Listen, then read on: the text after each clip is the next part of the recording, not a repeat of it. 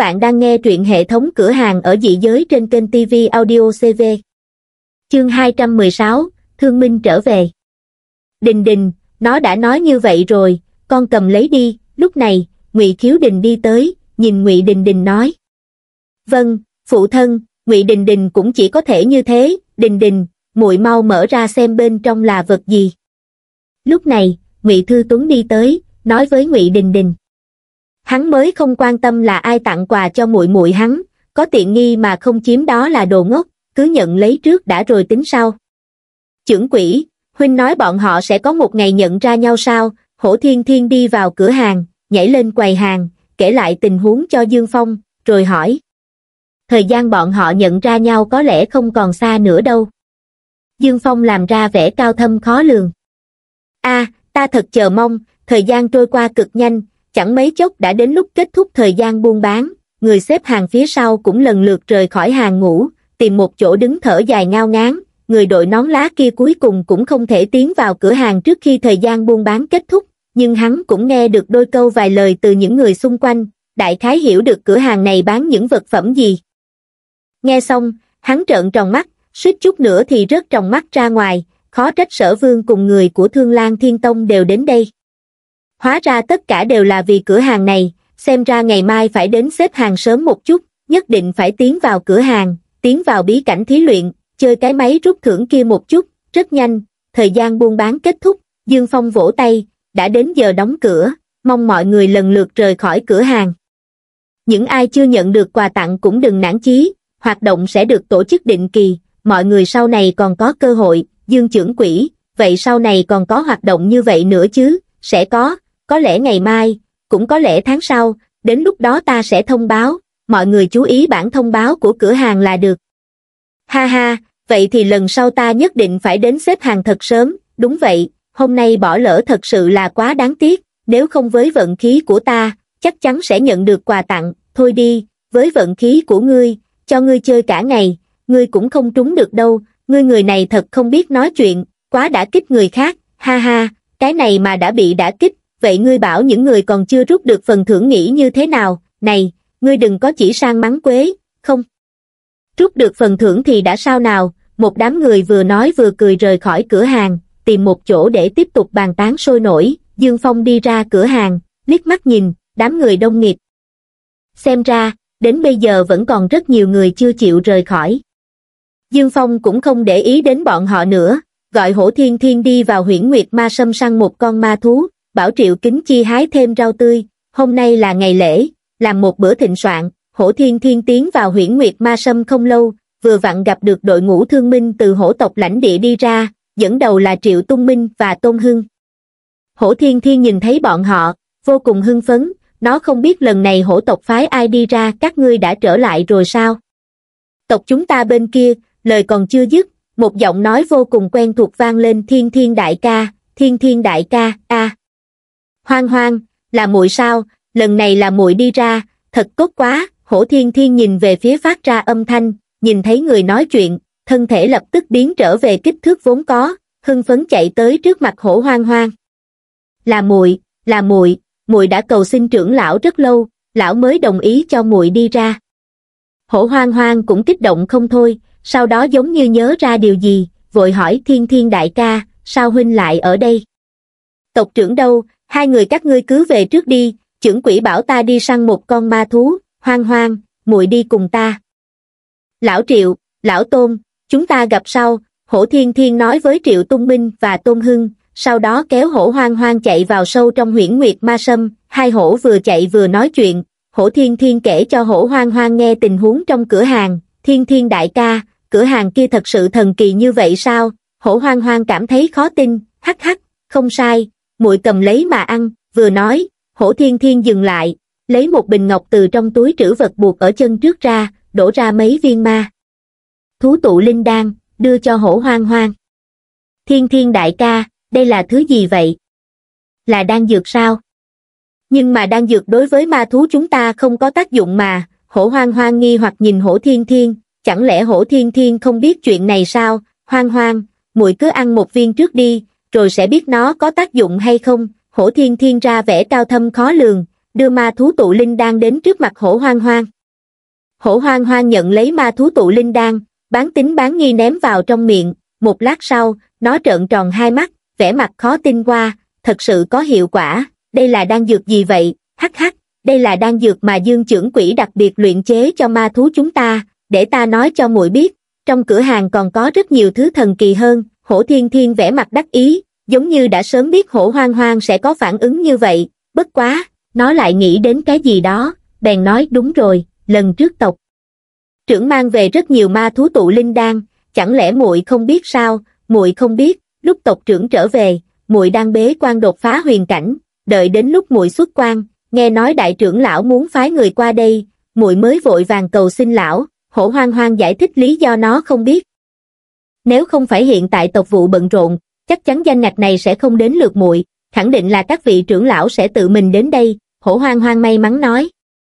Ừ, rất có khả năng này, có thể ở bên cạnh tộc trưởng, lại có nhiều tài nguyên tu luyện như vậy, chỉ có kẻ ngốc mới không muốn đến. Hổ thiên thiên cực kỳ đồng ý, nếu như nó là trưởng lão, chắc chắn nó cũng sẽ tự mình đến đây, thiên thiên đại ca, hiện tại huynh là cảnh giới gì rồi? Tại sao muội đã là huyền cảnh mà vẫn nhìn không thấu tu vi của huynh? Hổ hoang hoang nhìn hổ thiên thiên, tò mò hỏi. Ha ha, hiện tại ta đã là huyền cảnh thất giai, ta nghĩ không bao lâu nữa sẽ đột phá địa cảnh, ha ha hổ thiên thiên đắc ý nói. Hổ hoang hoang trừng lớn hai mắt địa cảnh.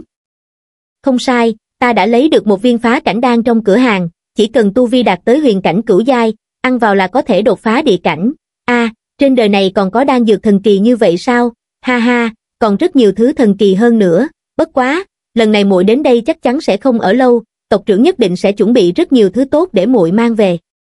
Hổ Thiên Thi nghĩ đến chuyện hôm nay tộc trưởng mua tụ linh trận kia, chắc hẳn huynh ấy biết chuyện thương minh trở về, cái gì? Vừa tới đã bảo ta trở về, là thứ tốt gì vậy? Hổ hoang hoang không thể tin hỏi, thứ có thể khiến hổ tộc chúng ta triệt để cuộc khởi, thứ đó gọi là tụ linh trận. Hổ Thiên Thiên vừa đi vừa nói, hổ hoang hoang nghe được kinh hô không thôi, Hồ Thiên Ba. Mọi người mau nhìn có người nhìn thấy một đội người đi ra từ trong huyễn nguyệt ma sâm, lớn tiếng kêu lên, ừm, đó là người của thương minh trở về, thương minh trở về, thương minh trở về cũng có người nhận ra cờ xí của thương minh, lớn tiếng la lên, là người của thương minh, ngươi xem, đó là lão thành chủ, bọn họ đã trở về, ha ha, đúng đúng, bọn họ trở về rồi, chúng ta mau qua xem một chút, nói xong một đám người liền chạy tới bên thương minh, phụ thân, thương minh đã trở về. Gia Gia bọn họ đã trở về, Triệu Nhã Phương kéo cánh tay Triệu Thế Phương hưng phấn nói, phụ thân, chúng ta mau đi xem, chúng ta mau đi xem, Triệu Nhã Chi cũng thúc giục nói, được rồi, chúng ta đi qua nghênh đón Thương Minh Khải Hoàng, đám người này do Ngụy Phách Thiên dẫn đầu, đi về phía Thương Minh, Thiên Thúc, chúng ta đã trở về, sau khi đi tới trong đám người, đám người tự động nhường ra một con đường cho đám người Ngụy Phách Thiên, để bọn họ đi thẳng tới trước mặt đội ngũ Thương Minh. Ngụy Phách Thiên thấy đám Triệu Tung Minh tới, trước tiên là mở miệng nói. An toàn trở về là tốt rồi, an toàn trở về là tốt rồi, trên đường không có chuyện gì phát sinh chứ, Ngụy Phách Thiên nhìn đội ngũ chỉnh tề, không xuất hiện bị thương gì, liền an tâm không ít, Thiên Thúc, ngài quan tâm rồi, trên đường chúng ta không gặp phải phiền toái gì, nhưng gặp phải một số yêu thú không có mắt, những yêu thú này đã trở thành đồ ăn trong bụng chúng ta, Triệu Tung Minh cười nói, bầu không khí trở nên thoải mái hơn. Người đi lần này đại đa số đều là người bản địa của Thiên. Phong Thành, khi bọn họ nghe được thành chủ nói không gặp phải nguy hiểm gì, liền thở phào nhẹ nhõm, gia gia gia gia Triệu Nhã Phương, Triệu Nhã Chi song sinh chạy tới, kéo tay trái tay phải Triệu Tung Minh. Ha ha, hai cháu gái ngoan của ta, thành tích lần này thế nào? Tiến vào tốt 100 chưa? Triệu Tung Minh nhìn hai nàng cháu gái, con mắt hiếp thành một đường nhỏ. Gia Gia, người quá coi thường người khác, ta nói cho người biết, toàn bộ chúng ta đều tiến vào tốt 10 đấy. Triệu Nhã Phương biểu môi, nàng rất không hài lòng với việc Triệu Tung Minh xem thường các nàng, cái gì? Đều tiến vào top 10 rồi. Mau nói cho Gia Gia biết là chuyện gì xảy ra, Triệu Tung Minh cũng giật nảy mình, tất cả đều tiến vào 10 vị trí đầu, thật là không thể tin nổi, Gia Gia, ta nói cho người biết nha, Triệu Nhã Phương và Triệu Nhã Chi liền kể cho Triệu Tung Minh một số chuyện trong hội võ đạo Thanh Tú, Ngụy Đình Đình và Ngụy Thư Di ở bên cạnh bổ sung. Sau khi nghe được chuyện của Triệu Trường Thanh và Thẩm Gia Di, hai mắt ông sáng lên, nhìn quanh tìm kiếm bóng dáng hai người Triệu Trường Thanh và Thẩm Gia Di. Gia Gia, ca ca và Gia Di tỷ bọn họ trở về rồi, không ở nơi này, nghe được Triệu Nhã Phương nói, Triệu Tung Minh mới từ bỏ tìm kiếm thân ảnh hai người này, hưng bá bá, lần này vất vả cho bá bá rồi hứa nguy đi đến trước mặt Tôn Hưng, vỗ cánh tay Tôn Hưng nói. Ha ha, không vất vả, lần này cũng có thể trở thành chuyện để ta đem ra khoe khoang, sau này ta sẽ đi sâu vào huyễn nguyệt ma sâm, làm ăn với hổ tộc, loại chuyện này ai có thể tưởng tượng được. Thiếu gia người mấy ngày nay, a tu vi của thiếu gia sau khi Tôn Hưng nhìn thấy cảnh giới của hứa nguy, hai mắt trợn to. Ha ha, Hưng bá bá thế nào? Có phải kinh ngạc không? Chờ hai ngày nữa bá bá nghỉ ngơi và hồi phục xong chúng ta sẽ trở về. Lần này sư phụ rõ ràng cũng tìm được nơi này, ta đã đáp ứng ông ấy, chờ bá bá sau khi trở về liền trở về. Cũng để cho người trong tộc nhìn xem hứa nguy ta, vẫn có thể tiếp tục tu luyện, ta không phải phế vật tu luyện, hứa mi nắm chặt nắm đấm, hai mắt nhìn về phương xa, tràn đầy khí thế nói. Được được, ngày mai chúng ta sẽ xuất phát, ngày mai chúng ta sẽ trở về. Tôn Hưng nhìn thấy bộ dạng tràn ngập lòng tin, tràn ngập khí thế của hứa nguy, kích động không kềm chế được, cũng không cần gấp gáp như vậy, Hưng bá bá, bá bá nghỉ ngơi trước rồi nói, Hưng bá bá, ta nói cho bá bá biết, lần này ta có được phụ thân, lần này thuận lợi không, Triệu Thế Phương đi tới trước mặt Triệu Tung Minh, hắn đối với lần này cùng hổ tộc cùng nhau thành lập thị trường giao dịch tràn đầy chờ mong. Rất thuận lợi, có bạch tộc trưởng lên tiếng trước, chúng ta không gặp phải bất kỳ khó khăn gì, rất thuận lợi cùng hổ tộc thành lập mậu dịch tốt đẹp Triệu Tung Minh liền cùng Triệu Thế Phương nói đến việc cùng hổ tộc thành lập thị trường giao dịch để cùng hổ tộc buôn bán. Triệu Thế Phương sau khi hiểu rõ một ít chuyện cơ bản rất hưng phấn. Chuyện giao dịch cùng ma thú này, cũng là khai sáng lịch sử của đế quốc thiên tần. Bọn họ nhất định sẽ được ghi vào sử sách, nghĩ đến đây, hắn kích động hô lên với cả đội ngũ ta đại diện thiên phong thành, diệt liệt hoan nghênh thương đội thương minh khải hoàng, các ngươi khai sáng tiên phong cho thiên tần đế quốc chúng ta, các ngươi sẽ được ghi chép vào sử sách, để hậu nhân kính ngưỡng, để hậu nhân cúng bái. Chúng ta cùng vào thành, ta sẽ mở tiệc chiêu đãi các ngươi, một đám người vây quanh thương minh đi về hướng thiên phong thành, mọi người tìm người quen thuộc của mình, vừa trò chuyện thành tích của võ đạo hội thanh tú lần này cùng một số việc xảy ra trong cửa hàng mấy ngày nay, đặc biệt là quà tặng xuất hiện trong hoạt động hôm nay. Cũng để cho đối phương nói một chút chuyện thú vị xảy ra ở lãnh địa huyễn nguyệt ma sâm cùng hổ tộc trong khoảng thời gian này. Ta nói lão Diêu, nhị tẩu, hai người trở về thật không đúng lúc, nếu như trở về sớm một chút nữa có thể còn có thể tham gia hoạt động lần này. Lưu đoàn trưởng, ta nói cho ngươi biết, thấy không, không gian 80 mét khối, thế nào? Có phải rất tốt hay không? Chỉ chốc lát sau, hổ thiên thiên và hổ hoang hoang mỗi người tha một con ma thú trở về, lúc hổ hoang hoang nhìn thấy tiểu bạch, lập tức chạy tới hoang hoang bái kiến tộc trưởng. Là hoang hoang à, không tệ, đã đến huyền cảnh rồi, trước hết nghỉ ngơi một đêm, ngày mai ngươi và thiên thiên cùng nhau mang một món đồ về tộc, vâng, tộc trưởng, lúc này thiên thiên chạy tới nói, phương pháp mở tụ linh trận này ngươi đã biết, cho nên ta không nói nhiều, sau khi các ngươi đưa đến, cũng không cần ở lại trong tộc quá lâu, tiểu bạch lần nữa phân phó nói, vâng ạ, tộc trưởng, sau khi đưa đến chúng ta sẽ lập tức trở về. Hổ Thiên Thiên và Hổ Hoang Hoang mang ma thú vào phòng bếp, Dương. Phong đang bận rộn trong phòng bếp, thấy được hai con ma thú liền lên tiếng. Ồ, có đồng bọn mới tới, là người của thương minh trở về rồi sao? Dương Phong nhìn thấy con hổ xa lạ này cũng đã đoán được thương minh hẳn là đã trở về. Vâng, trưởng quỷ, bọn họ hiện tại đã trên đường đi Thiên Phong Thành, trưởng quỷ, ta giới thiệu cho ngươi một chút, đây là hổ hoang hoang, hổ thiên thiên buông ma thú xuống, xác nhận suy đoán của Dương Phong, sau đó giới thiệu hổ hoang hoang cho Dương Phong. Hổ hoang hoang, ừm, không tệ, không tệ, hai vị đặt ma thú ở đây đi, Dương Phong gật đầu với hổ hoang hoang, xem như chào hỏi. Sau khi hai hổ buông ma thú xuống, liền đi ra khỏi phòng bếp, hổ thiên thiên mang theo hổ hoang hoang đi tới bên cạnh Trần Lâm Trần Lão, Trần Lão, làm cho hoang hoang một tấm thẻ hội viên, không thành vấn đề, hoang hoang tới đây, mau tới đây, chúng ta chơi máy rút thưởng trước, làm xong thẻ hội viên, hổ thiên thiên mang theo hổ hoang hoang đi tới trước máy rút thưởng. Đây chính là máy rút thưởng sao, quả nhiên thần kỳ, hổ hoang hoang nhìn màn hình máy rút thăm trúng thưởng, nhìn những vật phẩm bên trong, kinh ngạc nói. Hổ thiên thiên quẹt thẻ xong, ấn mạnh xuống nút bắt đầu, hô to lễ vật, ra đây cho ta nào, không có việc gì, không có việc gì, cơ hội còn rất nhiều, nhìn thấy kim đồng hồ dừng ở, cảm ơn quý khách, cũng không có quà tặng xuất hiện, hổ thiên thiên tự an ủi mình. Khi hổ thiên thiên rút được lần thứ 9, vẫn là, cảm ơn quý khách, cũng không có được quà tặng, có chút ủ rũ nói. Hoang hoang, còn có cơ hội, muội nói có đúng không, thiên thiên ca ca đừng nản chí, không phải còn một lượt cuối cùng sao.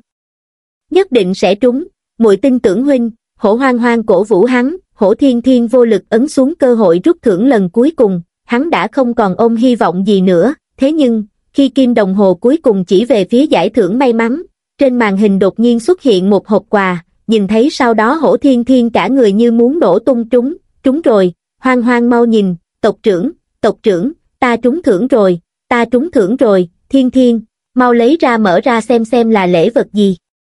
Tiểu Bạch cũng tò mò đi tới, thúc giục hổ thiên thiên lấy hộp quà ra mở ra xem, hổ thiên thiên vội vàng đưa móng vuốt vào, mãi mới lấy được cái hộp ra, lúc cầm hộp quà có lẽ quá mức kích động, đánh rơi xuống đất.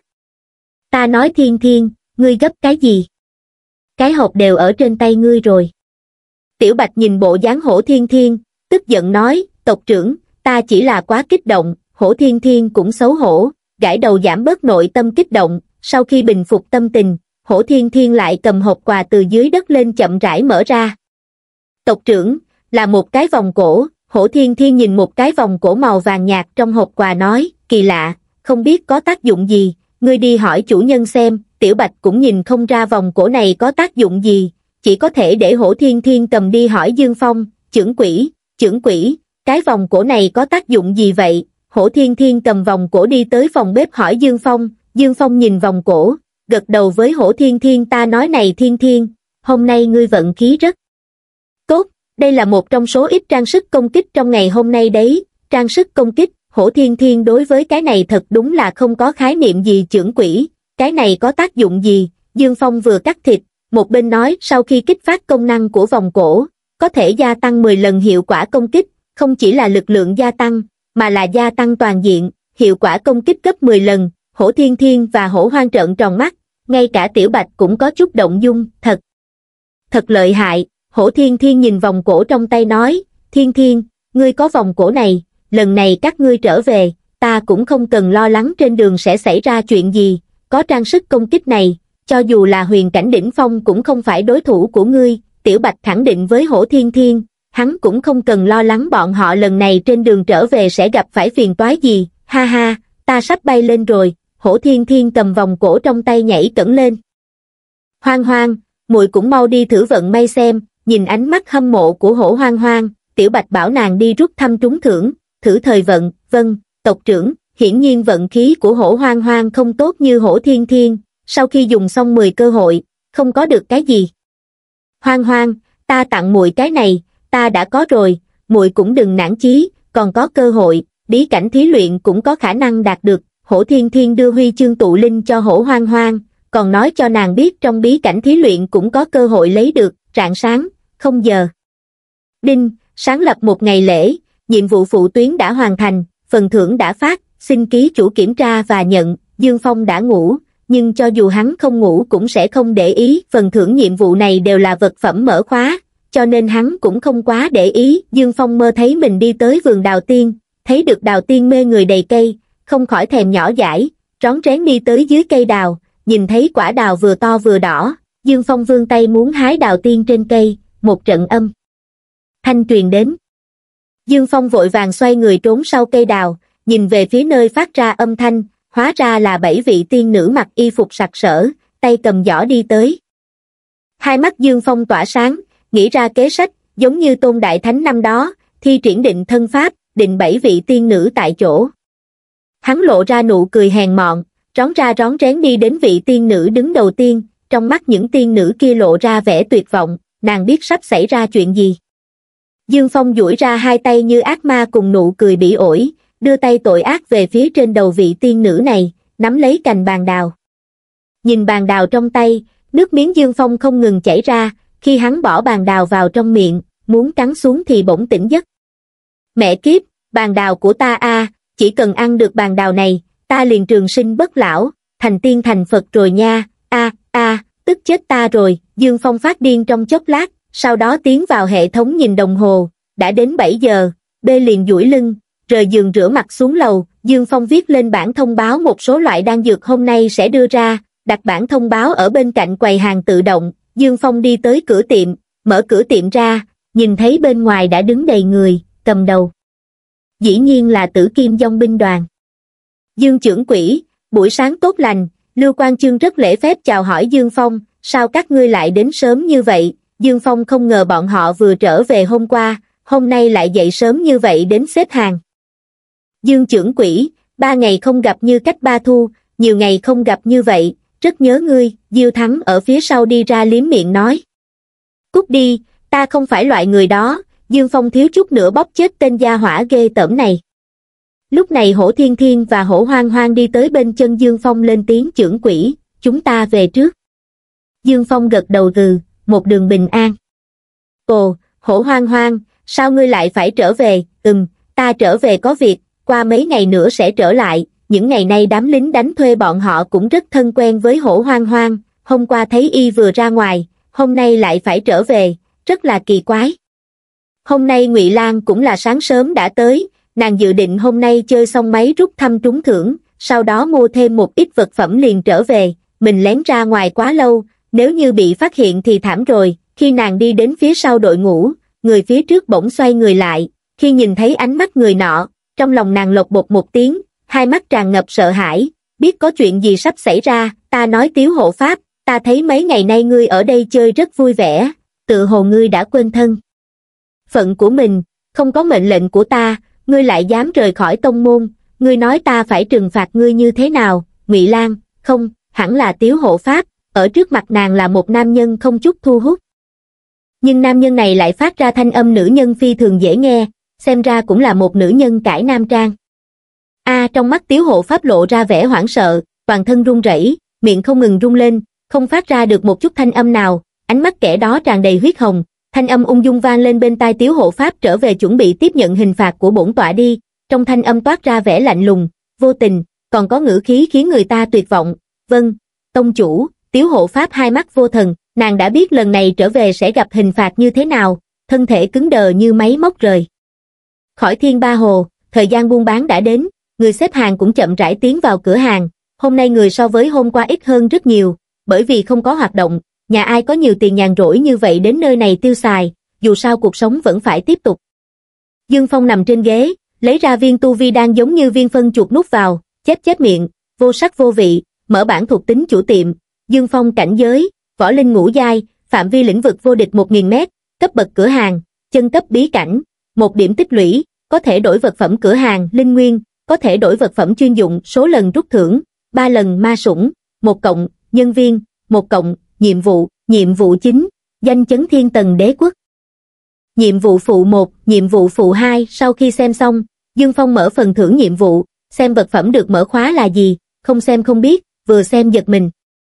Dương Phong nhìn thấy năm loại vật phẩm được mở khóa, kích động đến mức thiếu chút nữa nhảy dựng lên. Trong năm loại vật phẩm này có ba loại bán ra, một loại là vật phẩm cửa hàng, một loại là vật phẩm chuyên dụng.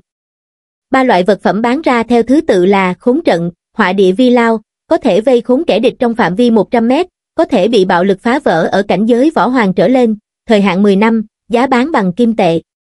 Định nhan đan, ngoại hình người dùng sẽ vĩnh viễn dừng lại ở khoảnh khắc dùng định nhan đan, giá bán bằng kim tệ.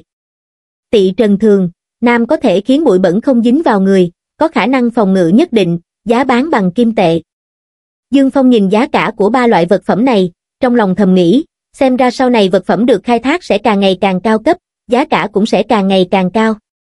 Thủy linh thạch, có thể tạo ra linh thạch với linh khí cấp cao, hiệu quả kết hợp với bể cá cảnh càng tốt hơn, giá bán bằng điểm tích lũy.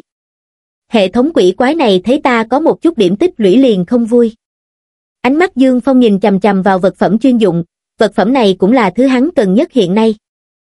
Khôi lỗi nhân viên, có thể dung hợp, có thể nâng cấp thành khôi lỗi thị vệ, khôi lỗi nhân viên không có cảnh giới, có toàn bộ quyền hạn của nhân viên cửa hàng, giá bán, 500 linh nguyên, đến rạng sáng là có thể mua được khôi lỗi nhân viên này, chắc hẳn Trần Lâm sẽ không để ý đến một cơ thể bình thường, chờ sau khi hoàn thành nhiệm vụ chính tuyến tiếp theo, có thể mua cho hắn một khôi lỗi thị vệ.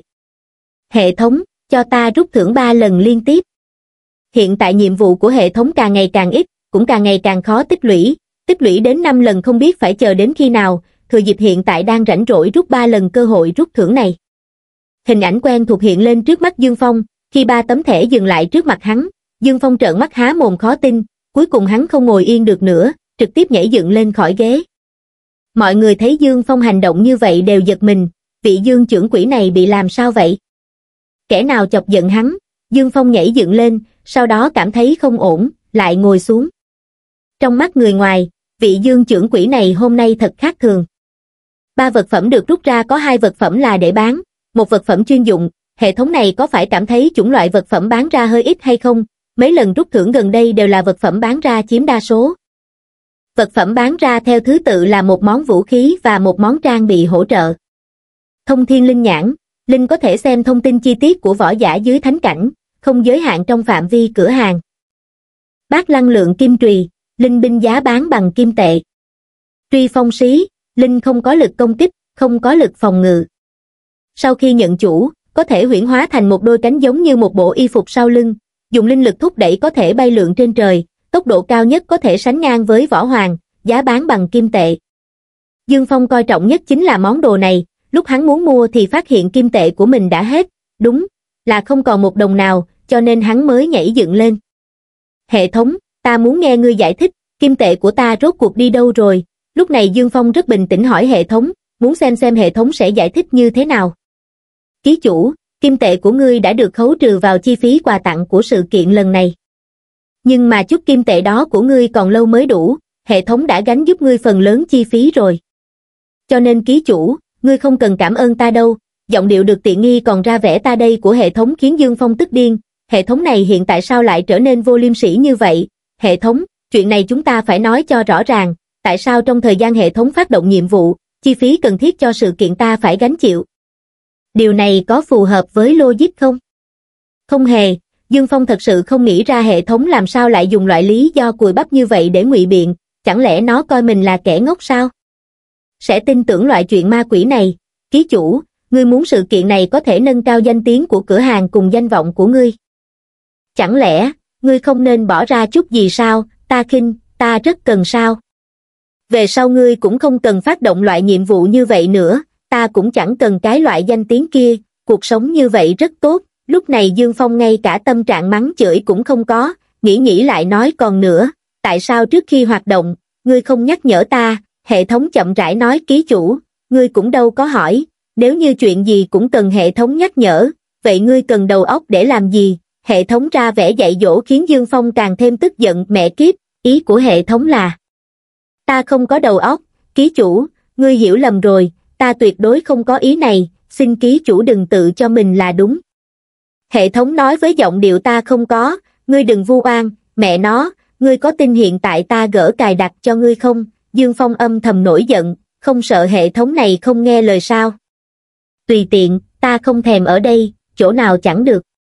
Nhưng mà, ký chủ, ngươi phải suy nghĩ cho kỹ, nếu như không có ta, ngươi còn có thể sống sót trên thế giới này sao? Giọng nói của hệ thống vang lên trong đầu Dương Phong, khiến hắn trầm tư, mình cũng không thể dựa dẫm vào hệ thống quá mức, bằng không nếu có một ngày hệ thống rời khỏi hắn, hắn nên làm cái gì bây giờ? Hệ thống, ý của ngươi là ngươi sẽ rời khỏi ta sao? Dương Phong hiện tại sợ nhất chính là nghe được hệ thống rời khỏi hắn. Nếu như hiện tại hệ EVA Clark rời đi, nội tình của hắn sẽ hoàn toàn bại lộ, hơn nữa bản thân hắn lại không thể tu luyện, sợ là tính mạng khó giữ, ký chủ, giống như cái tên cửa hàng này, duyên đến duyên đi, có duyên thì tụ, hết duyên thì tan, chuyện trên thế gian này ai có thể nói rõ ràng, hệ thống giống như một tên ngốc, không đúng, là giống như một vị hiền triết, đang giảng giải đạo lý nhân sinh cho Dương Phong, Dương Phong rất bất đắc dĩ, cái này gọi là tự mình hại mình, đặt tên gì không đặt, lại đặt cái tên chết tiệt này, hệ thống. Hiện tại ta đổi tên còn kịp không? Dương Phong khóc lóc thương lượng với hệ thống, ký chủ, chỉ cần ngươi trở nên mạnh mẽ, có ta hay không chẳng phải giống nhau sao? Lúc này hệ thống dùng giọng điệu dỗ dành trẻ con, mạnh mẽ.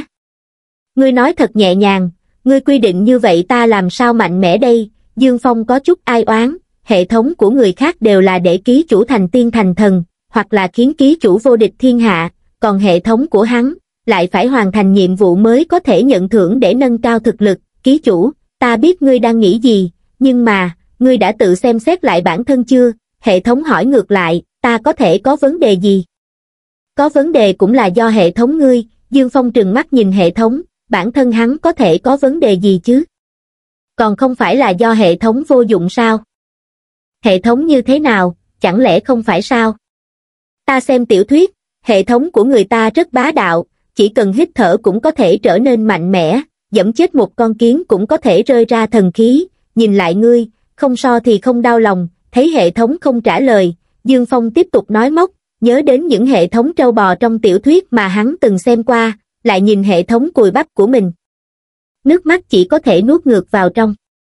Ký chủ, ngươi cũng muốn trở nên mạnh mẽ như vậy sao, cái, Dương Phong nghẹn họng, cái, hệ thống cùi bắp này sao lại thay đổi sắc mặt nhanh như vậy, vừa rồi còn đang nói móc hắn, châm chọc hắn, sao đột nhiên lại đổi giọng, chẳng lẽ trong này có âm mưu gì sao? Dương Phong cảm thấy ngữ khí thay đổi của hệ thống, khẳng định là có chuyện chẳng lành, mình phải cẩn thận đối đãi.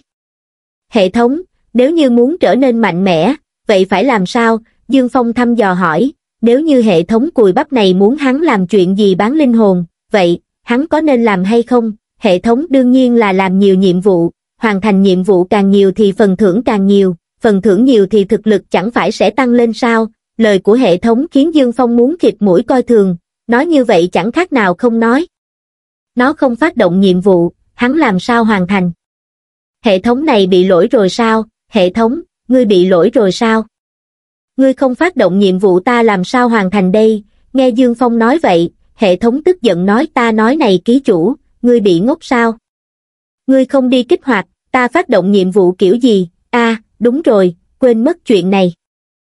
Cái nhiệm vụ chết tiệt này còn phải tự mình đi kích hoạt, hai, hệ thống của người ta đều tự động phát động nhiệm vụ, cái gì mà giết gà, bắt vịt cũng có thể hoàn thành nhiệm vụ, còn hệ thống cùi bắp của hắn, thôi, không nói nữa. Vậy ngươi không thể tự phát động nhiệm vụ sao? Ví dụ như, xào rau, nói phép nhổ cỏ, Dương Phong chọn ra một hai cái từ những nhiệm vụ mà hệ thống đã từng xem trong tiểu thuyết mà nói. Ký chủ, ta thấy ngươi không phát sốt, cớ sao lại hồ ngôn loạn ngữ, hệ thống dùng giọng điệu nói chuyện với kẻ ngốc, nhưng Dương Phong đã miễn dịch với ngữ khí này của hệ thống. Hệ thống, nếu như ngươi cũng phát những nhiệm vụ này, chẳng phải ta có thể mạnh lên sao? Như vậy ta chỉ trong nháy mắt là có thể thành tiên thành thần, đến lúc đó ngươi muốn đi nơi nào thì đi, Dương Phong vẫn canh cánh trong lòng đối với năng lực của hệ thống, bất quá hắn đối với mình là tràn đầy tự tin. Nếu lúc trước ngươi đã chọn ta, vậy đại biểu ta có năng lực thành tiên thành thần, bằng không vì sao ngươi lại chọn ta, nói đến đây, hệ thống có chút nghe không nổi nữa, chờ Dương Phong vừa dứt lời, hệ thống lập tức nói ký chủ, về điểm này ta muốn giải thích một chút, lúc trước chọn ký chủ ngươi làm ký chủ của ta, không phải bởi vì ta cố ý chọn ngươi, mà là ngươi vận khí tốt, vừa vặn ngẫu nhiên chọn trúng ngươi mà thôi, ngẫu nhiên. Ta vận khí tốt.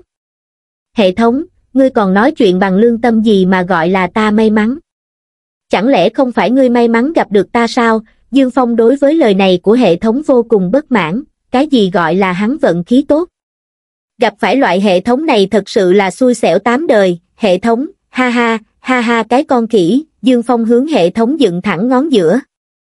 Qua một lúc lâu, hệ thống thấy Dương Phong không nói chuyện liền chủ động nói ký chủ, nói một ngàn nói một vạn, ngươi muốn đề cao thực lực bản thân, chỉ có thể dựa vào hoàn thành nhiệm vụ hệ thống đạt được ban thưởng mới có thể đề cao, muốn làm nhiều nhiệm vụ, vậy phải đi kích phát nhiều nhiệm vụ hơn. Hệ thống, ngươi đây là ép người ta đó, bất quá bản trưởng quỷ đại khí, không so đo, nể mặt ngươi. Nói đi, vậy phải kích phát nhiệm vụ như thế nào, hệ thống ra ngoài nhiều một chút, đừng có ru rú ở cái chỗ một mẫu ba phân đất này nữa, mẹ kiếp, hệ thống, ngươi muốn để ta đi chịu chết sao, Dương Phong suýt chút nữa nhảy dựng lên, cái hệ thống chó má này muốn làm gì, ký chủ, về phần an toàn ngươi có thể yên tâm, hệ thống thấy Dương Phong sợ chết đến mức độ này cũng không nói nên lời, bản thân có ma sủng ngưu bức như vậy còn sợ thành cái dạng này, thật sự là mất mặt người xuyên Việt.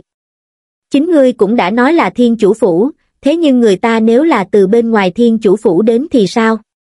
Nhỡ đâu tiểu bạch không kịp cứu ta, ta không phải là sẽ tiêu đời sao, Dương Phong đối với tính mạng của mình, đó là coi trọng vô cùng, nói đùa, mạng nhỏ của hắn chỉ có một cái, mất rồi là mất luôn. Không giống như một số nhân vật chính trong tiểu thuyết, chết rồi còn có thể sống lại, càng chết càng mạnh, nếu như hắn cũng có loại năng lực càng chết càng mạnh này, còn cần cái hệ thống chó má này nói sao, hắn đã sớm đi quẩy rồi. Về điểm này, ký chủ cũng yên tâm, khi có người sinh ra địch ý với ngươi, nếu như tạo thành uy hiếp đối với sinh mệnh của ký chủ, bản hệ thống sẽ nhắc nhở ký chủ, hệ thống đối với ký chủ này sợ chết đến loại trình độ này, cũng là rất bất đắc dĩ. Hệ thống, ta cảm thấy cái này thật sự là quá nguy hiểm, chúng ta có thể thương lượng thêm một chút không? Tuy hệ thống nói như vậy, nhưng phàm là việc gì cũng có ngoại lệ, nhỡ đâu hắn cứ như vậy mà chết thì sao? Về phần an toàn, ký chủ ngươi có thể yên tâm, bản hệ thống sẽ không để ngươi chết, nói như vậy ngươi có thể hiểu chưa? Hệ thống, ta có hai nghi vấn, ngươi có thể giải đáp hai nghi vấn này của ta một chút không? Dương Phong thấy hệ thống nói như vậy, hắn cũng không còn gì để nói, tuy rằng trong lòng vẫn lo lắng cho cái mạng nhỏ của mình. Bất quá hắn cũng nhân cơ hội hỏi ra nghi hoặc trong lòng, nếu dựa theo tính cách của hệ thống, bình thường khẳng định sẽ không thèm để ý đến hắn. Hệ thống mời ký chủ nói, từ sau khi cửa hàng thăng cấp, ta cảm giác ngươi trở nên giống như có trí tuệ, đây là vì sao? Dương Phong hỏi ra nghi hoặc đầu tiên của mình, theo đẳng cấp cửa hàng của ngươi tăng lên, một số quyền hạn của hệ thống cũng theo đó mà tăng lên, không biết ký chủ đối với giải thích này đã hài lòng không? Lần này hệ thống không che giấu hay im lặng, được, ta đã hiểu, vậy vấn đề thứ hai chính là, người sáng tạo ra ngươi chỉ đơn thuần là khai phá ra ngươi. Để ngươi tìm một ký chủ phát triển cửa hàng thật tốt, để cửa hàng này mở khắp vạn giới vũ trụ sao, hệ thống không phải, vậy là chuyện gì? Hệ thống có thể nói rõ hơn được không? Dương Phong đối với câu trả lời này của hệ thống có chút ngoài ý muốn, chẳng lẽ không phải là để cửa hàng mở ra khắp vạn giới vũ trụ, vậy là vì cái gì? Chờ khi ngươi tăng cấp cửa hàng lên tới huyền cấp, khi đó tự nhiên sẽ rõ, được rồi, vậy ngươi cho ta một đề nghị, bây giờ ta nên làm như thế nào? Dương Phong đối với câu trả lời của hệ thống cũng bất lực, nếu như hệ thống không nói, cho dù hắn có cầu nài hay uy hiếp thế nào, nó cũng sẽ không để ý tới. Cũng may chỉ cần cửa hàng lại tăng thêm một cấp nữa là hắn có thể giải khai được nghi hoặc trong lòng mình. Bất quá, đối với việc mình phải làm thế nào để kích hoạt nhiệm vụ, vẫn là phải dựa theo ý kiến của hệ thống, hắn không thể nào tự mình chạy loạn sông ngẫu được. Ngươi đến Hồ Thiên Ba này đã lâu như vậy, chẳng lẽ không muốn đến Thành Thiên Phong xem thử sao? Nhiệm vụ phụ hệ thống đưa ra là ở ngay tại Thành Thiên Phong, chỉ là không biết Dương Phong có dám đi qua đó hay không. Nói cho cùng, ngươi chính là muốn để ta ra khỏi cái lĩnh vực vô địch này, nhưng ngươi có chắc chắn, nhất định có thể bảo. Đảm an nguy cho ta, đối với câu trả lời của hệ thống, Dương Phong cũng không bất ngờ. Nhưng, hắn nhất định phải bảo đảm mạng nhỏ của mình có an toàn tuyệt đối hay không, ký chủ, chỉ có bản thân có thực lực vô thượng, mới có thể tự mình bảo đảm an toàn cho bản thân. Nhưng mà, trước khi ngươi còn chưa trở thành người như vậy, hệ thống cũng sẽ tận hết khả năng để bảo đảm an toàn cho ngươi, giống như những gì ta đã nói trước đó, đối với việc Dương Phong sợ chết đến mức này, hệ thống cũng bất đắc dĩ, nó cảm thấy rất mệt mỏi. Hai, chuyện gì cũng phải dựa vào bản thân, năng lực của bản thân không được, dựa vào người khác là vô dụng, ngươi nói có đúng không hả hệ thống? Dương Phong chỉ cây dâu mà mắng cây hòe. Ngươi có thể nghĩ như vậy là đúng rồi nhưng hệ thống cũng không nghe ra ý mượn lời nói bóng gió của hắn. Dương Phong nhắm mắt lại, tưởng tượng sau khi mình trở thành tiên nhân, tiêu giao khoái hoạt biết bao nhiêu. Thiên chủ phủ. Ngươi nói cái gì? Có kẻ dám giả mạo vô thiên giáo chúng ta, giáo chủ vô thiên giáo nghe xong lời này, vỗ bàn đứng bật dậy, nhìn chầm chầm vào một nữ nhân mập mạp trước mặt, đúng vậy, giáo chủ, chúng ta đã phát hiện ra cờ xí của Khô Lâu Sơn và vô thiên giáo ở Thiên Lạc Thành và Thiên Nhạc Thành, người vừa lên tiếng chính là tú bà chuyên dò la tin tức của vô thiên giáo, hừ, lại có kẻ dám giả mạo chúng ta, thật là to gan, ta hạn cho ngươi trong vòng 3 ngày phải điều tra rõ ràng là ai đang dở trò quỷ, vâng, giáo. Chủ, sau khi điều tra rõ, trước tiên đừng manh động, có lẽ đây cũng là một cơ hội cho vô thiên giáo chúng ta, có kẻ muốn mượn danh tiếng của chúng ta để làm chút chuyện, đối với chúng ta mà nói cũng là một chuyện tốt, giáo chủ vô thiên giáo chấp tay sau lưng, nhìn bản đồ trên tường nói. Vâng, giáo chủ, không biết những thành khác có xuất hiện hay không, nếu như 11 thành đều xuất hiện khô lâu sơn, vậy thì thật là thú vị. Có đám người giả mạo này ở phía trước, chúng ta có thể thừa cơ hội mà làm chút chuyện khuấy nước béo cò. Tú bà này vừa nói vừa dùng quạt lụa phe phẩy trước ngực. Không tệ, xem ra ông trời cũng muốn giúp ta vô thiên giáo. Tần chấn, tần chấn, một chữ năm đó của ngươi khiến bổn tọa thống khổ suốt 60 năm, ngươi có biết 60 năm qua bổn tọa đã sống như thế nào không? Giáo chủ vô thiên giáo vừa nói vừa ôm ngực. Nhưng mà, ngươi nằm mơ cũng không ngờ trái tim của bổn tọa lại nằm bên phải. Ha ha ha ha, cười lớn một hồi, trong đầu giáo chủ vô thiên giáo hiện lên một hình ảnh. Trong trận chiến Tần Minh thảo phạt tổng đàn vô thiên giáo năm đó, giáo chủ vô thiên giáo lúc đó cảnh giới cao thâm, Tần Minh không phải là đối thủ, ngay khi hắn muốn giết chết Tần Minh. Sự xuất hiện của một người đã thay đổi cục diện trận chiến, người này chính là hoàng đế tiền nhiệm của thiên tần đế quốc, Tần Chấn. Ngay trong nháy mắt khi hắn muốn giết chết Tần Minh, lại có người đánh lén, tuy rằng người nọ đeo mặt nạ, trên người mặc trường bào màu đen. Nhưng giáo chủ vô thiên giáo vẫn nhận ra người nọ là ai, hắn chính là Tần Chấn, bởi vì hắn quá quen thuộc với đôi mắt ấy. Có lẽ Tần Chấn cũng không ngờ rằng trái tim của hắn lại nằm bên phải, cho nên hắn mới may mắn thoát chết. Cách Hồ Thiên Ba không xa. Hai người đang bay nhanh về phía Hồ Thiên Ba, một người là trưởng lão tử Đan Huyền Tông, Đổng Uy, một người còn lại mặc hắc bào, đầu đội đấu lạp, không nhìn rõ mặt, nhưng trên tay người này lại cầm một thanh thiết kiếm, một thanh thiết kiếm không có vỏ. Nhìn bộ dạng tràn đầy sát khí của Đổng Uy, có thể thấy được lão ta muốn đến tìm Dương Phong báo thù, thật không biết ai đã cho lão ta dũng khí. Rõ ràng biết ở đây có cường giả võ hoàng triệu kính chi mà còn dám đến báo thù. Phía trước chính là cửa hàng đó, vị đại nhân này, lát nữa triệu kính chi liền phải làm phiền ngài ra tay. Động uy cung kính nói với hắc bào nhân bên cạnh. Không thành vấn đề, triệu kính chi có thể chết trong tay ta sau khi ta đột phá võ đế, hắn cũng đủ để kiêu ngạo rồi. hắc bào nhân nói chuyện chính là một cường giả vừa mới đột phá võ đế không lâu, cũng không biết tử đan huyền tông có năng lực gì mà lại có thể mời được một vị cường giả võ đế đến báo thù. Lúc này, Dương Phong đang nằm trên ghế xích đu với vẻ mặt tươi cười, đắm chìm trong thế giới của riêng mình. Hắn không hề hay biết, có một vị siêu cấp cường giả võ đế đang muốn đến tìm hắn báo thù, mấy phút sau, Đổng Uy mang theo hắc bào võ đế đi tới cửa hàng. Đổng Uy chỉ vào cửa hàng đại nhân, chính là cửa hàng đó, được, chúng ta đi thôi, hai người thi triển thân pháp, trong nháy mắt đã đến trước cửa hàng, lúc này, những người đang xếp hàng đều cảm nhận được sát ý trên người hai người kia, vội vàng tránh sang một bên, dùng ánh mắt xem thường nhìn bọn họ, mà lúc này Dương Phong cũng mở mắt nhìn sang. Dương Phong nhìn thấy hai người, một người trong số đó hắn còn quen biết, thầm nghĩ, lại là người quen cũ, xem ra lần trước đánh hắn vẫn chưa sợ, lần này không biết lại tìm ai tới báo thù đây. Trưởng quỷ vẫn nhàn nhã như vậy. Bất quá, ngươi e là nhàn nhã không được bao lâu nữa đâu, cửa hàng này ta muốn, còn Đan Phương, ngươi nên ngoan ngoãn giao ra cho ta, nếu không Đổng Uy thấy Dương Phong vẫn ngồi trên cái ghế kỳ quái kia, bộ dạng thản nhiên như chuyện không liên quan đến mình, tức giận nói không nên lời, trực tiếp uy hiếp Dương Phong. Ồ, thật sao? Ngươi chắc chắn có thể khiến ta giao ra đan phương, Dương Phong thản nhiên nói, một tay đặt sau gáy. Ha ha, ngươi tự tin như vậy, chẳng lẽ là dựa vào triệu kính chi sau lưng ngươi? Ha ha, hắn ta cũng chẳng coi vào đâu, kêu hắn ra đây chịu chết đi, Đổng Uy cuồng vọng nói, thì ra là ngươi, xem ra lần trước ta đã quá nhân từ với ngươi, không ngờ ngươi còn dám đến đây gây chuyện, lúc này, Triệu Kính Chi từ trong đám người đi ra. Triệu Kính Chi, ngươi không ngờ ta còn dám đến đây đúng không? Hắc hắc, ta không chỉ dám đến, ta còn dám giết ngươi, ngươi có tin hay không? Đổng Uy dùng ngữ khí khinh miệt nói, nhìn Triệu Kính Chi như nhìn người chết, ồ, thật sao?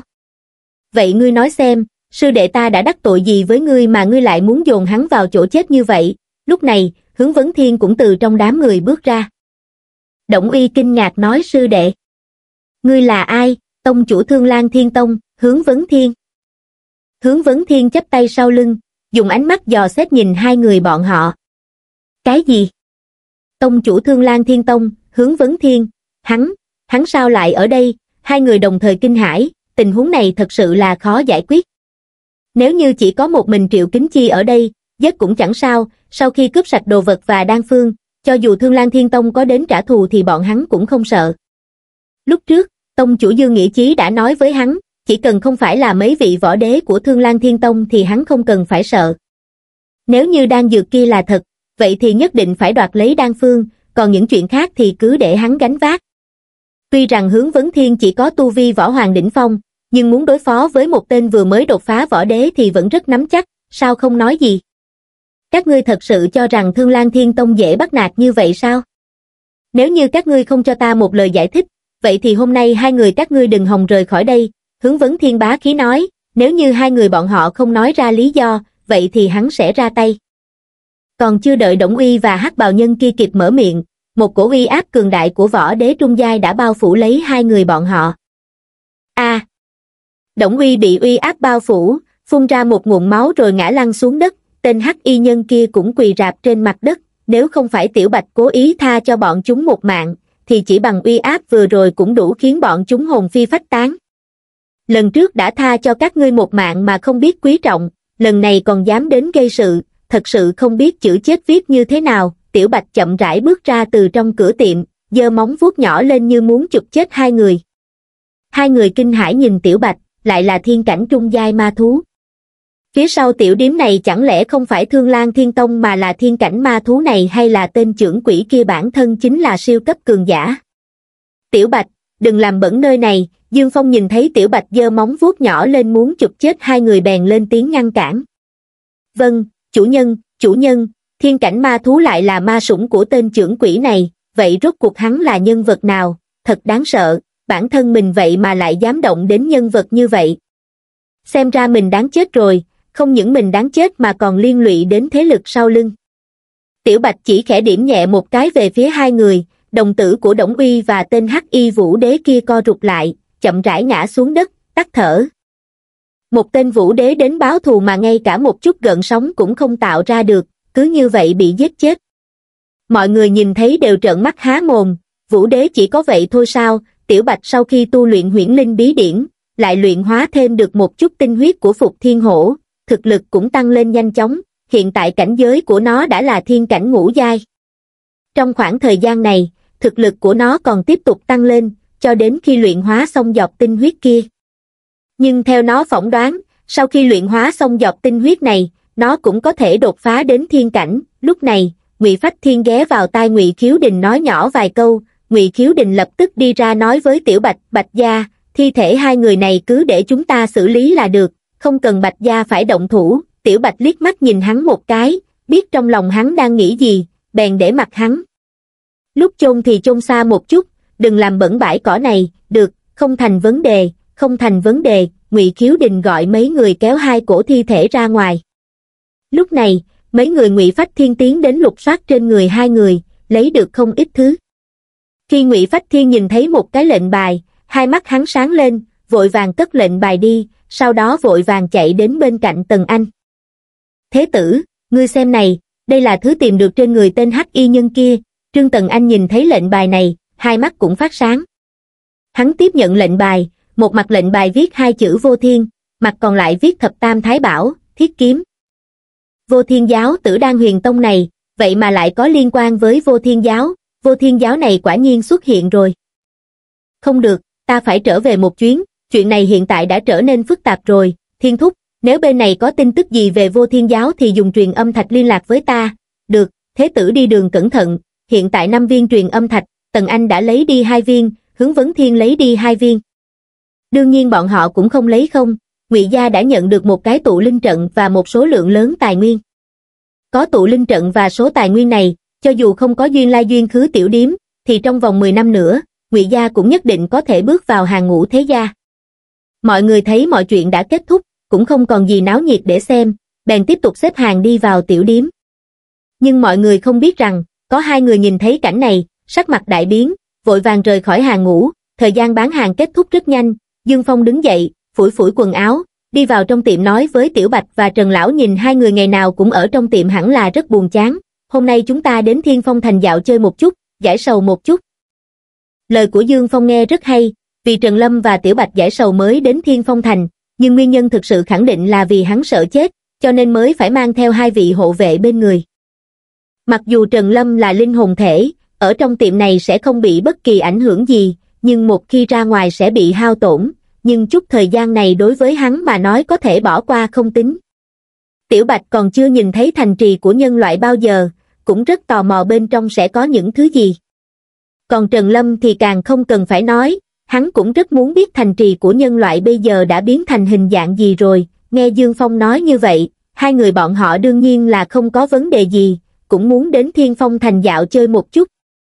Dương Phong dẫn Tiểu Bạch và Trần Lâm đi ra khỏi cửa tiệm, đóng cửa lại, nhìn thấy vợ chồng Triệu Kính Chi đang ngồi dưới tán dù che nắng, bèn đi tới hỏi xem bọn họ có muốn cùng đến Thiên Phong Thành hay không. Vợ chồng Triệu Kính Chi cũng vui vẻ đồng ý, Dương Phong lại nhìn thấy mấy người ngụy Phách Thiên vẫn còn ở cách đó không xa, bèn đi tới hỏi, mấy vị, trong Thiên Phong Thành này có gì thú vị sao, Dương trưởng quỷ, ngươi muốn đến Thiên Phong Thành chơi sao?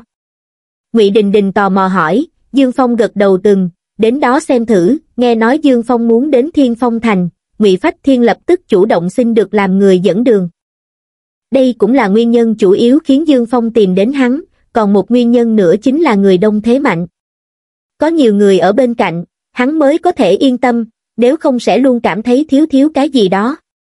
Có vợ chồng Triệu Kính Chi, Tiểu Bạch, Trần Lâm ở bên cạnh, Dương Phong mới an tâm hơn một chút, có thêm một chút cảm giác an toàn, từng chỉ là một chút xíu mà thôi. Lúc sắp bước ra khỏi phạm vi vô địch của mình, Dương Phong liền lấy tấm thuấn di phù trong nhẫn trữ vật ra, nếu như thấy tình thế không ổn, sẽ lập tức chuồn thẳng. Khi Dương Phong bước ra khỏi phạm vi vô địch, âm thanh của hệ thống vang lên. Đinh, chúc mừng ký chủ mở ra nhiệm vụ nhánh mới, con đường trưởng thành của trưởng quỷ, rời khỏi thôn Tân Thủ. Đinh, hệ thống phát hành nhiệm vụ nhánh, tiến vào Thiên Phong Thành, phần thưởng vật phẩm ngẫu nhiên X2, rút thưởng X1, tu vi đang X2. Hai tiếng nhắc nhở của hệ thống vang lên trong đầu Dương Phong, hệ thống, ngươi nói thôn Tân Thủ là có ý gì? Chẳng phải ta đã từng đi qua bí cảnh trong huyễn nguyệt ma lâm và lôi đài của thiên chủ phủ rồi sao, Dương Phong rất khó hiểu.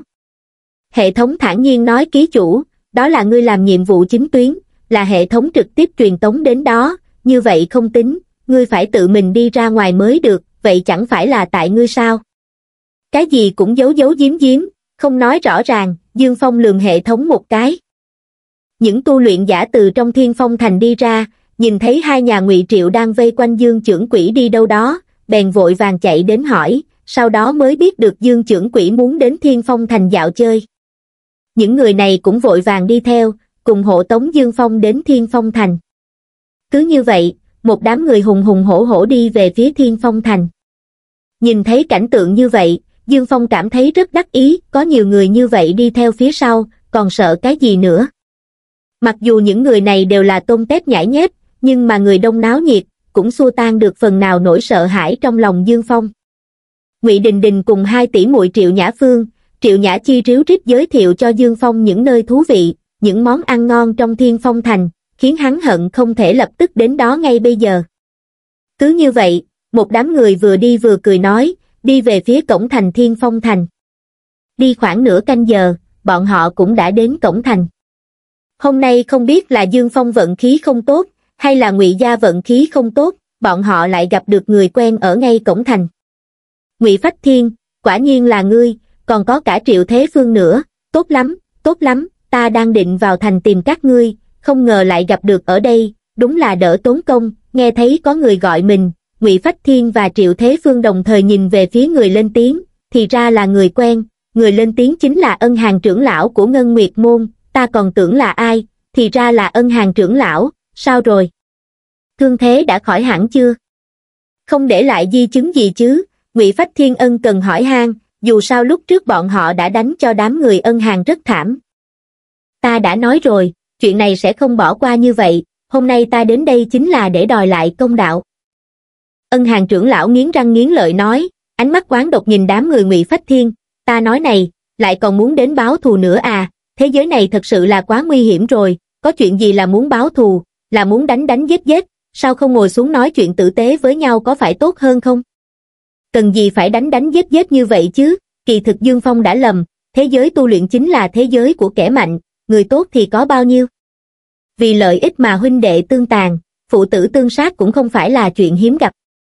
Trong mắt người ngoài, Dương Phong chính là nhân vật sâu không lường được, một con ma sủng đã là thiên cảnh ma thú, còn có huyền cảnh ma thú canh cửa, ai còn dám động đến hắn, chẳng lẽ chán sống rồi sao, những kẻ có ý đồ bất chính với hắn đều đã bị hắn tiễn xuống địa ngục rồi, à không, bọn chúng không xuống được địa ngục, mà đã biến mất khỏi thế gian này, ngay cả luân hồi cũng không được. Kia chẳng phải là, là ai nhỉ? À đúng rồi, ân hàng trưởng lão, là trưởng lão của cái tông môn gì ấy nhỉ? À phải rồi, là Ngân Nguyệt Môn. Nực cười, thật sự là nực cười, lần trước như chó nhà có tan chạy trối chết khỏi thiên phong thành chúng ta, vứt bỏ hết đệ tử đi theo mình, chẳng lẽ người của Ngân Nguyệt Môn các ngươi đều là hạng người tham sống sợ chết như vậy sao? Lúc này, Trần Lưu Trung, gia chủ Trần Gia bước ra, chỉ vào ân hàng nói. Chật chật, ta nói này, gọi là chó nhà có tan cũng đã là khen ngợi rồi, các ngươi còn nhớ hôm đó, bị ngụy lão gia gia một chiêu đánh rớt xuống khỏi tử lâu, à không, là một đám người bị ngụy lão gia gia một chiêu đánh rớt xuống khỏi tử lâu, từng tên một hôn mê bất tỉnh, miệng phun máu tươi, bị đội tuần tra thành ném vào trong đại lao như ném chó chết vậy. Nếu không phải thành chủ nhân từ, cho người đi mời y sư đến chữa trị cho bọn chúng, thì làm sao bọn chúng có thể sống sót mà rời đi được. Cái tên, à, Ân hàng trưởng lão kia, lúc ngươi rời đi là thừa dịp ban đêm mà lén lút chuồn mất, cho nên ta nói, dùng chuột chạy qua đường để hình dung còn chính xác hơn, lời này nói rất đúng, chuột chạy qua đường mà bây giờ còn dám vác mặt đến đây, đúng là khiến người khác chê cười, cười thì cứ cười thôi, ai biết được bọn chúng có phải đã chuẩn bị kỹ càng hay không, da mặt của bọn chúng còn dày hơn cả tường thành thiên phong thành chúng ta nữa kìa. Này này, chẳng phải hắn ta còn dẫn theo mấy người đến sao? Chỉ dựa vào mấy tên tôm tép nhãi nhép này mà cũng dám đến thiên phong thành chúng ta báo thù sao?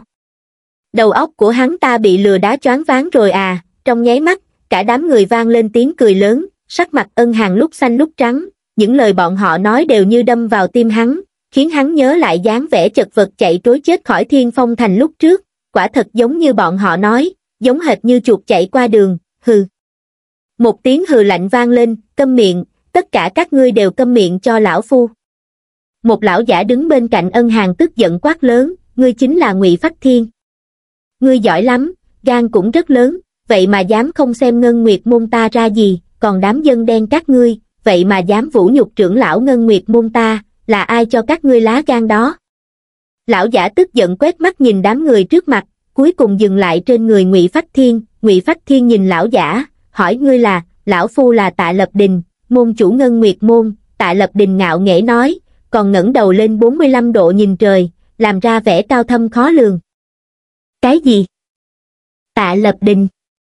Ha ha, cái tên này thật sự là sáng tạo, ha ha ha nghe thấy cái tên này, Dương Phong không nhịn được mà bật cười thành tiếng, không biết có phải nhà lão già này mở tiệm thuốc hay không, lúc hắn sinh ra, phụ mẫu vì quá bận rộn, nên tiện tay lấy đại một cái tên thuốc trong tiệm đặt cho hắn. Tiểu tử ngươi nói cái gì? Tạ Lập Đình chỉ vào Dương Phong, tức giận nói. Ta nói tạ Lập Đình đấy, thế nào? Không thể nói à, Dương Phong nhìn lão già bằng ánh mắt cười như không cười, sau đó làm ra vẻ bừng tỉnh đại ngộ. Chẳng lẽ nhà ngươi mở hiệu thuốc? Nếu không thì sao lại đặt tên ngươi là tạ Lập Đình? Mọi người nghe Dương Phong nói, đều không hiểu hắn đang nói gì, nhưng đến khi nghe đến ba chữ, hiệu thuốc, những người nhanh nhạy liền hiểu ra, Dương Phong đang nói cái gì, ha ha ha ha cả đám người đồng thời cười ầm lên, vừa mới bắt đầu, Dương Phong còn tưởng mình nghe nhầm, bèn dùng thông thiên nhãn xem qua tin tức của lão giả này, quả nhiên là đồng âm với tạ lập đình, tiện thể xem qua tin tức của mấy người kia một chút, thấy mấy người. Kia đều là thực lực gà mờ liền yên tâm. Ngươi là người phương nào? Họ gì tên gì? Dám treo đùa lão phu như thế? Ngươi thật sự không sợ chết sao? Tạ lập đình tức nổ phổi, hắn cũng vừa mới phản ứng lại, bất quá hắn cũng không lập tức động thủ, mà là trước hỏi thăm rõ ràng lai lịch của Dương Phong sau mới quyết định có nên động thủ hay không. Người có thể đứng giữa Ngụy Bá Bá và thành chủ Thiên Phong Thành chắc chắn không phải là một nhân vật đơn giản, nực cười, loại mặt hàng như các ngươi cũng xứng biết tục danh của Dương Mổ sao? Thực là không biết trời cao đất rộng, Ngụy Bá Bá khinh thường biểu môi, lời nói ra cùng với giọng điệu lúc này, hơn nữa bộ dáng cà lơ phất phơ kia, nhìn thế nào cũng giống như một tên du đảng. Hiện tại, Ngụy Bá Bá đang rất muốn được cùng môn chủ Ngân Nguyệt môn là Tạ Lập Đình đánh một trận ra trò. Những người xung quanh nghe vậy cũng nhao nhao phụ họa đúng vậy. Ngụy lão gia nói đúng, loại mặt hàng như bọn chúng sao có thể xứng biết tục danh của Dương đại trưởng quỷ chứ? Loại người không có ý. Tốt như các ngươi, Thiên Phong Thành chúng ta không chào đón. Đúng vậy, Thiên Phong Thành chúng ta không chào đón các ngươi, mau cút ra ngoài, mau cút đi, mọi người cùng nhau hò hét, sắc mặt ân hàng cực kỳ khó coi, thấp giọng nói với tạ lập đình, tông chủ, xem ra hảo ngôn khó khuyên cái đám quỷ chết tiệt này, cùng đám người này không cần phải nói nhảm nữa, trực tiếp dùng vũ lực giải quyết là thỏa đáng nhất, khốn kiếp, khốn kiếp, các ngươi đều im miệng cho ta, gấp rồi, gấp rồi kìa, ngươi. Xem hắn ta gấp đến mức nào rồi kìa. Dư Thịnh chỉ vào tạ lập đình, hắc hắc, cấp gáp chẳng phải rất bình thường sao? Đã một đống tuổi như vậy rồi, giờ mới biết được nguồn gốc cái tên của mình, có thể không gấp sao? Sĩ ban khoanh tay trước ngực cười tủm tỉm nói, không phun máu tươi tại chỗ đã là vạn hạnh lắm rồi, nếu là người khác, e rằng đã sớm học máu ngã lăn ra đất rồi. Đỗ lôi cũng nói ra cách nhìn của mình, các vị, đừng đùa nữa, chúng ta vẫn nên làm chính sự đi, không thể để cho Dương Đại trưởng quỷ cứ đứng mãi ở cửa thành như thế này được, ngụy bá bá quay sang nói với mọi người phía sau, rồi nhìn đám người ngân nguyệt môn với hai mắt bừng bừng lửa giận, nói các ngươi lần này đến đây muốn khiêu chiến như thế nào. Muốn tỉ thí hay là quần công, mấy tên ngân nguyệt môn nhìn ngụy bá bá với bộ dạng ngông cuồng kia thì rất khó hiểu, một người võ tông nhất giai, là dựa vào đâu mà dám mạnh miệng nói ra những lời như vậy trước mặt người võ tông ngũ giai chứ, môn chủ của bọn chúng đã đột phá đến võ tông ngũ giai, khoảng thời gian trước là bởi vì môn chủ đang trong giai đoạn đột phá quan trọng, cho nên mới không đến tìm bọn hắn tính sổ. Sau khi đột phá, vừa nghe nói đám người của tiểu gia tộc Thiên Phong Thành này, vậy mà lại dám nhục nhã trưởng lão Ngân Nguyệt môn bọn chúng như thế, hơn nửa người của tiểu gia tộc kia lại còn có người thân mang võ kỹ hoàng giai, bởi vậy, Tạ Lập Đình vừa mới đột phá đến võ tông ngũ giai liền nảy lòng tham, ha ha, họ ngụy kia, ngươi còn tâm trạng nói ra loại lời nói đùa cực này sao? Thực sự là không biết chữ chết viết như thế nào a. Nhìn bộ dạng của ngụy bá bá, ân hàng tức đến mức bật cười, cười lạnh nói nói đi, tỷ thí với quần công thì như thế nào, ha ha, tỷ thí chính là một mình lão phu đơn đấu với tất cả các ngươi, còn quần công chính là một mình lão phu đánh bại tất cả các ngươi. Nếu thấy hay thì nhớ like và đăng ký kênh để ủng hộ mình nha.